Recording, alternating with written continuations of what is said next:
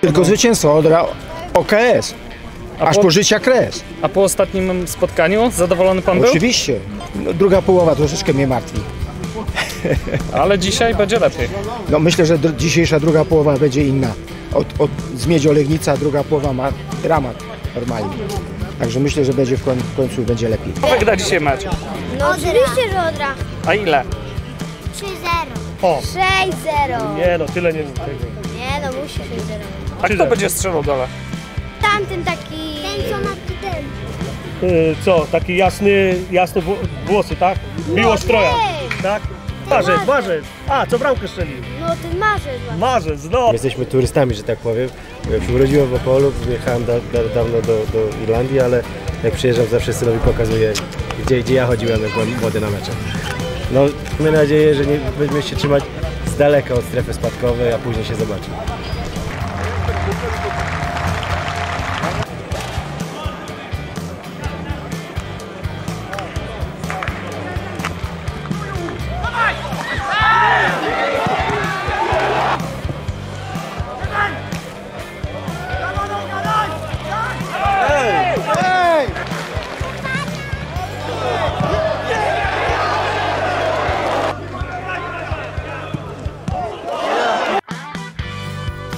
O, mecz się podoba. e, problem tylko jest brak bramek na razie dla Odry, ale gramy w przewadze, więc myślę, że 2-0, 2-0 obstawiamy, nie? Z Józkiem. Tak jest. 2-0. A kto strzeli?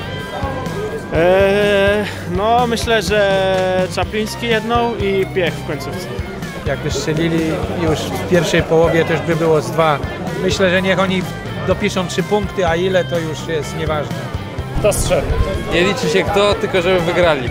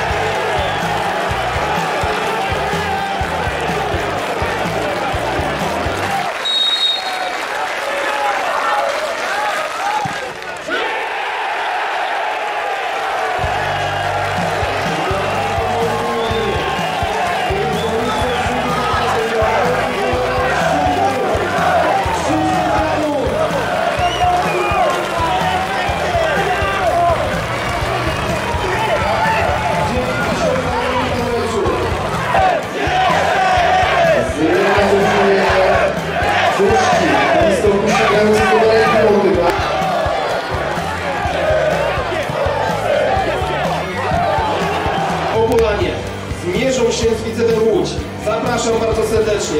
5 września, godzina 18. Odra Opole Widzew Łódź. Przypomnę po raz kolejny, liczb po bramce w 90 minucie z rzutu karnego wykonywanego przez Krzysztofa Janusa. Opolanie wygrali 1 do 0 z Krobrym Głogów.